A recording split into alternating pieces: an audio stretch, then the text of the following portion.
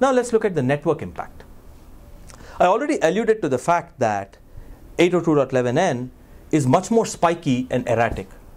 This graphic shows you, uh, in fact, from a real world example, uh, what sort of uh, coverage pattern you can expect. The dark oval here, the black oval here, shows you the location of the access point. And what you see is if you are using ABG, the rate range curve is essentially monotonic. The rate monotonically decreases as you go further away. But with 11n, because of the MIMO recombination, you might get low rates, and then suddenly your rate might spike up, and then again you get low rates, suddenly it might spike up. Again, this notion of predictability being much harder.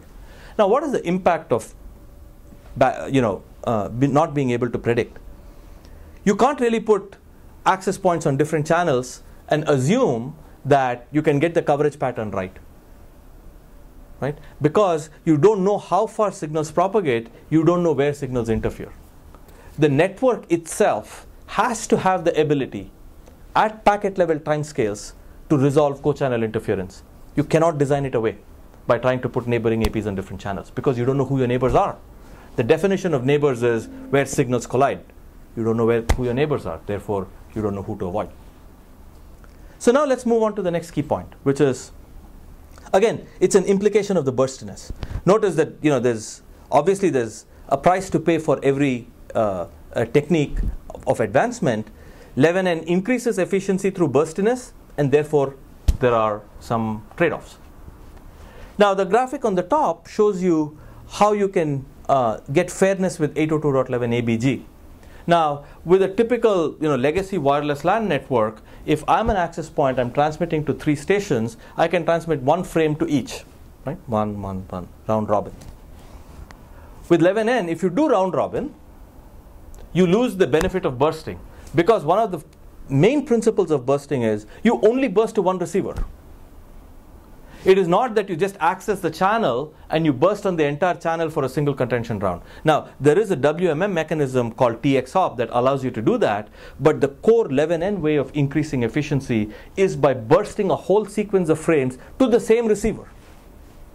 Now, if you look at the graphic below, notice that even though you increase the total amount of frames sent, if you look in short time scales, you are essentially giving channel to one receiver, bursting its queue out, and then going to the next one, and then going to the next one. So, in other words, rather than it being a fast round robin, it is a slow round robin with large bursts.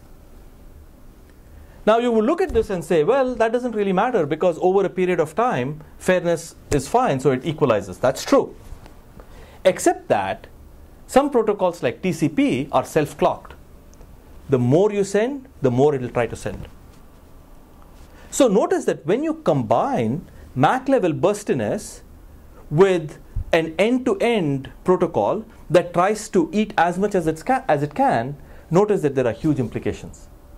Wherein it is possible, with a system designed wrong, that those devices that do well keep doing even better.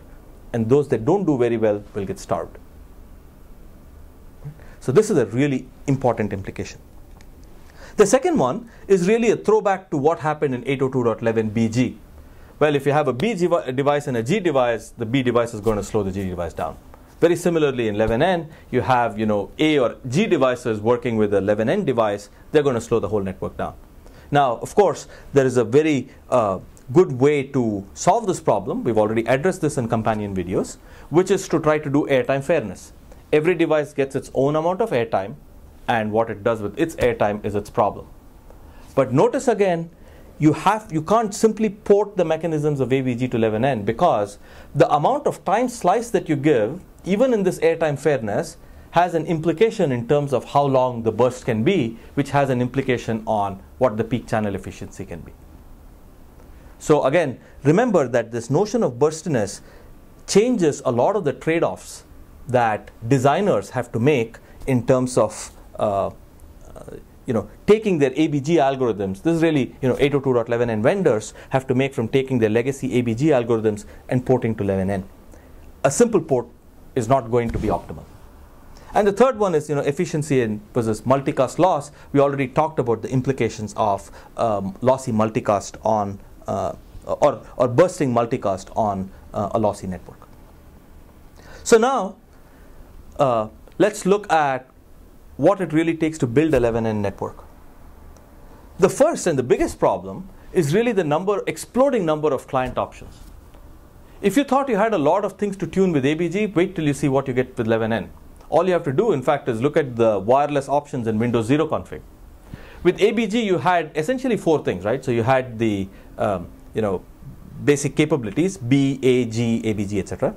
You had the transmit power. You could tune transmit power. You could tune power save behavior. It could be you know max power save versus medium versus max battery life, or, or max uh, uh, for capacity or max for battery life. And then you could tune roaming, right? You could make roaming very sticky or you could make it very frisky. With 11n, there's a plethora of new options.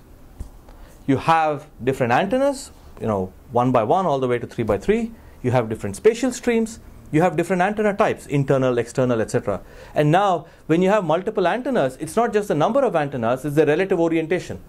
Particularly when you have access points with external antennas, that's very good overall because it allows you to optimize uh, your network, but the orientation and the polarity and the relative polarity makes a huge difference. Then you have channel width, you know, 20 megahertz or 40 megahertz. You have, we talked about the benefits of power save, this MIMO power save uh, that 802.11n provides. But again, there are multiple options here. No MIMO power save, static, dynamic, both, etc. And then there are some more sophisticated things that uh, vendors and driver manufacturers focus on, which is the size of this bursting, both on the sender side and the receiver side, which shows up as the uh, AMPDU aggregates and the AMPDU window size. It just tells you how much you can burst. And then, of course, finally, the rate adaptation. So it turns out that there's about 50 times more combinations to test with 802.11n than there are with ABG. Okay, so now that we've gone through uh, the basic technology and the uh, basic uh, uh, uh, network concepts, let's go back to the overall principle, which is, you know, how do you design this network?